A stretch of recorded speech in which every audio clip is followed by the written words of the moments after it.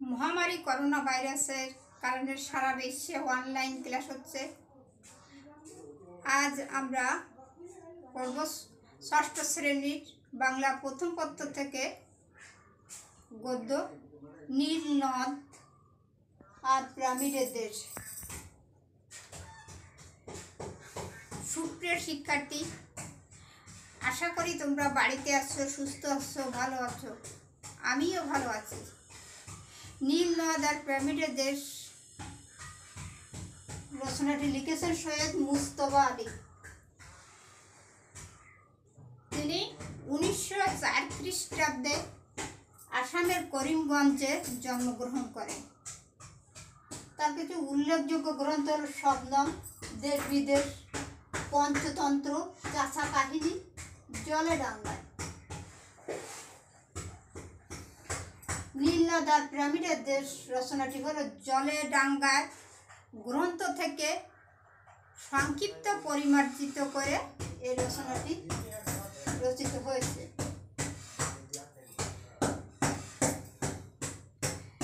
বিশ্বের প্রাচীনতম সভ্যতাগুলোর মধ্যে একটি হলো মিশর। এই নীল নদার পিরামিডের দেশে মিশরের সভ্যতাকে তুলে ধরা হয়েছে।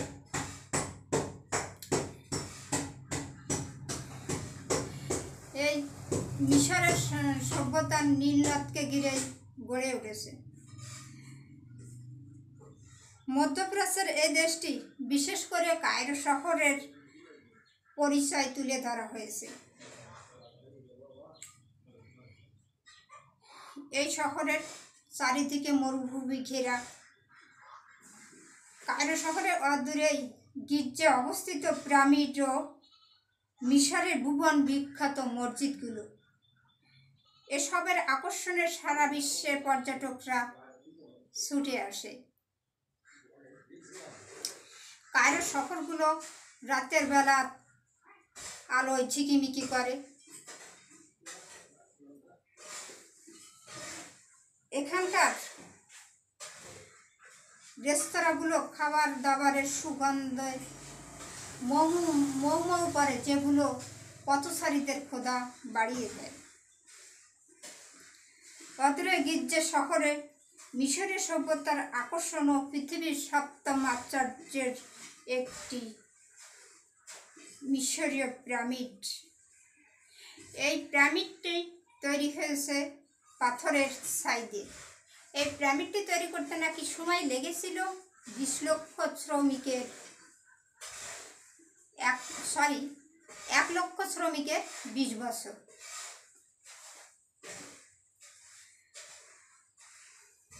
এই প্রা- পিরামিডটি তৈরি হয়েছিল প্রাচীন সম্রাটদের মমিদেহ সংরক্ষণ করানোর জন্য, যাদের যাতে তাদের মৃত্যুর পরে এই দেহটা পচে না যায়, কেউ দেহটা শুতে না পারে, এই জন্য এই পিরামিডটা তৈরি করা হয়েছিল। পিরামিডের পরে মিশরের অতুলনীয় আকর্ষণ হচ্ছে সেখানকার ভুবন বিখ্যাত অপূর্ব সৌন্দর্য মসজিদগুলো। এই কায়রো শহরে বিভিন্ন জাত বিজাতের লোক বসবাস করে। এখানে নিগ্রোদের দেখতে হচ্ছে ভেড়া, তাদের চুল আছে ভেড়ার লোমের মতো কালো, কুকড়ানো। ঠোঁট দুটো পুরু, লাল, টকটকে। নাক বসা। দাঁতগুলো ঝিনুকের মতো। এরা গায়ে কখনো তেল মাখে না, কিন্তু এদের দেখলে মনে হয় এদের গা থেকে তেল ঝরছে। আর সুদানবাসীদের দেখতে হচ্ছে সব প্রায় ছ ফুটের মতো লম্বা। এরা পরেও লম্বা আলখেল্লা। এদের প্রস্থ প্রায় ছয় ফুটেরও বেশি। কিন্তু এদের ঠোঁট নিগ্রদের মতো পুরু নয় এবং টকটকে লালও নয়। এখানে আরেকটি অতি রমণীয় বিষয়, দৃশ্য হচ্ছে নীল নদ এই নীল নদের জল দিয়ে এখানকার মিশরের সর্বোচ্চ চাষ এই নীল নদের জল দিয়ে হয়। আর এখানে আর কিছু শব্দার্থ আছে, তোমরা খেয়াল করবে।